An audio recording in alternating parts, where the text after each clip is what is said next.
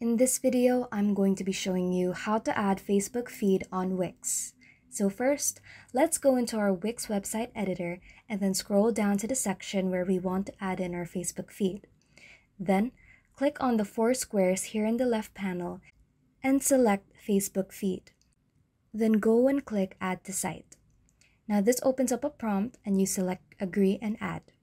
So this widget pops up. So if you want to sync in your Facebook account here, you click on Settings and then in the main panel, you select Connect to Page. So this takes you to Settings and then you select Connect to Facebook.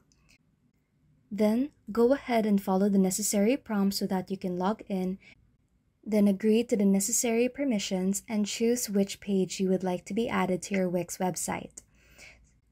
So now that we have added this in, you can go into the settings panel and make the necessary adjustments so that you can change this according to your preference.